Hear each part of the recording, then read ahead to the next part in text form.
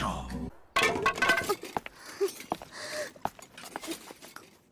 の衝撃はまさか。思い出したかよ俺のこと。っっお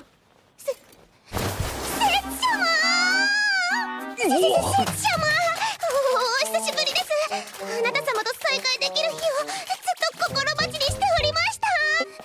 いつまでその姿勢でいる気だよ。あ申し訳ありません。椅子ですね。明るい。Eso sí me interesa, ¿eh? や別に求めてないんだがああせつ様の重みてかそこまで言い当てられるとちょっと気味悪いぞ ¡Cielos, qué macizo! 私が服従する喜びを覚